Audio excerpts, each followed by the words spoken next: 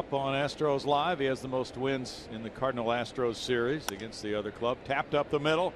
Near second base. It hits the bag, goes through into left center field. Maxwell will hustle home to tie the game at three. A well placed RBI single by Brandon Laird. Over the mound. It hit the base at second, and Laird drives in his second of the day and fourth as an Astro. That's just tremendous aim. Not struck all that sharply, so somebody was going to be able to make a play on this ball behind second base, but it never got there. There were two guys positioned to make a play, but the ball had other plans. Maxwell really sprinting to get home once he